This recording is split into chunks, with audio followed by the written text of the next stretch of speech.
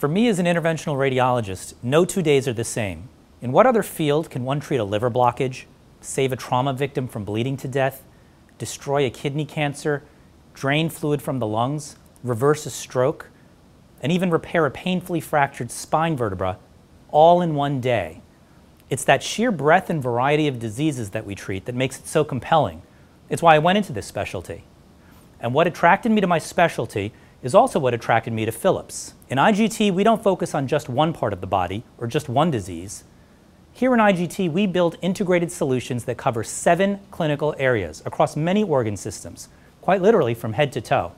Let me show you just a few examples. We're actually helping reverse strokes as they occur, stopping it dead in its tracks, and quickly, because time is brain. You actually lose 2 million brain cells or neurons every minute a stroke is in progress.